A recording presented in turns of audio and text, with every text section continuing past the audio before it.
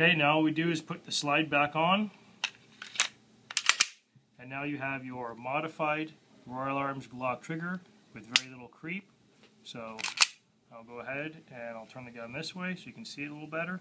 I'll pull that. You can see now that there's very little travel to the trigger. So I just reset there. It's as far as it went forward. And as far as function, you still have all of the Glock is built in, but we removed all of the actual trigger creep travel. So you have a very clean, crisp breaking trigger. And to change it, it takes about two minutes. Brought to you by Royal Arms Glock Trigger.